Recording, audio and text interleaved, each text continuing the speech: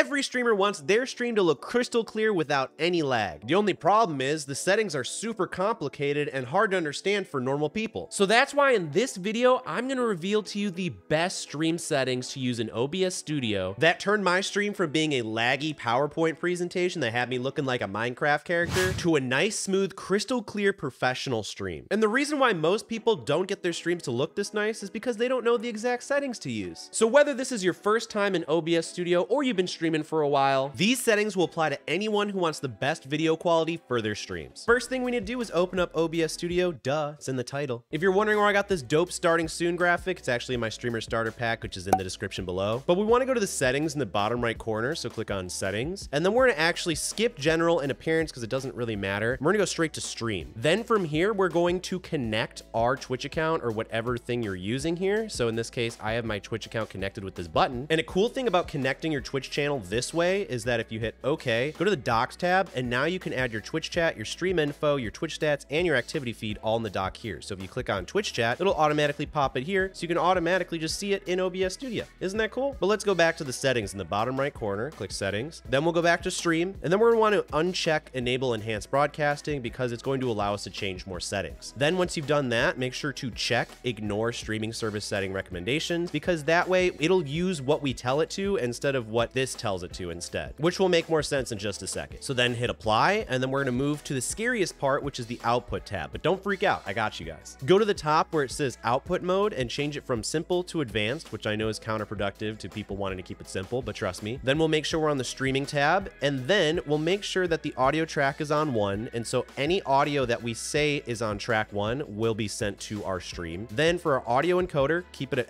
FMM. The Twitch VOD track is actually a very useful setting, which will allow you to play copyrighted music on your Twitch streams without getting the little warnings or your VODs muted after. But I'm going to touch on this setting at the very end of the video, so make sure to stick around for it because you don't want your channel getting in trouble. For the video encoder, if you're using a NVIDIA graphics card, you're going to want to use NVIDIA NVENC H264. And if you don't have this and you're using AMD, you're going to want to use whatever the AMD equivalent is. And if you don't have either of those, then you're going to want to use X264, but that's going to use a lot of resources on your computer, which might run into issues. The next important setting is we'll go to the encoder settings. We're going to change rate control to CBR, and we're going to change the bit rate to 8,000. We used to have it on 6,000, which is also very good bit rate, but sometimes when you're streaming, if there's extra resources available, it will boost it up to 8,000, which will give you even better quality if you're a regular Twitch streamer or a Twitch affiliate. However, if you're a partner, then you'll almost always get the 8,000 kilobits per second quality. But don't put it any higher than 8,000 because then you will actually nuke your stream. So don't do that. Next, we're going to change the keyframe interval to two. Others like to have it on zero. Either is really fine, but I prefer two. The preset you want to have anywhere between P5 and P7. I'm just going to have it on P6. If you have a really good computer, put it at P7. If you have a not so great computer, do P5. Somewhere in between, P6. Then we're going to do high quality, two passes, high, enable psycho visual tuning, GPU 0, and max B frames 2, which is pretty standard. Then we're to click on the audio portion, a little two tabs in. We're to change all of these audio bit rates to 320 to give us the best audio quality as well. So now after doing these specific settings, this is going to give you a good quality, but we still need to do a couple more things to make sure it's the best quality. So we're to go to the audio tab and make sure that you have your correct desktop audio selected. This is going to be wherever your computer speakers are. So in this case, I'm using the Yamaha ZG01, which is holding all of my computer audio. So we have that. And then for your mic, simply pick your microphone from the list. I'm using the Rode PodMic USB. Love this bad boy. Also linked in the description below. Then we'll hit apply and then we'll move to the video tab. Now this part's a little complicated, so pay attention. For the base canvas resolution, you're gonna wanna pick whatever you're gaming at. I'm gaming at 1080p and I'm also on a 1080p monitor,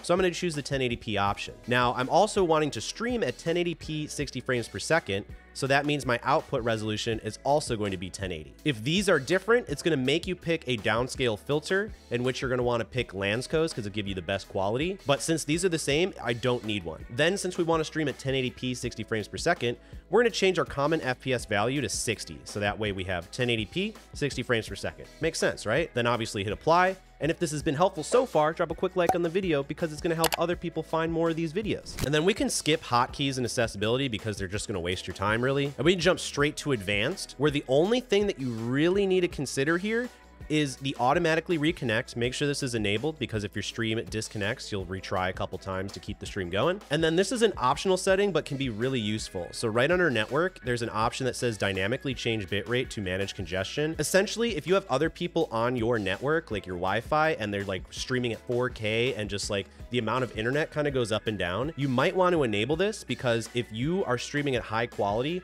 and you don't have enough resources from your internet because other people are hogging it all up, this will lower the quality of your stream instead of making you buffer and stutter like this. So if you want, you can do that, but if that's not a problem for you, you can leave it off. So it's up to you. Then you can hit apply, okay, and now you got a crystal clear stream. But if you're streaming on Twitch, you're definitely going to want to take advantage of this Twitch VOD track feature right here, and you're going to want to watch this video to the side of me where I explain it all in full detail. So give that video a watch. My name's Cody, and I'll see you in the next one.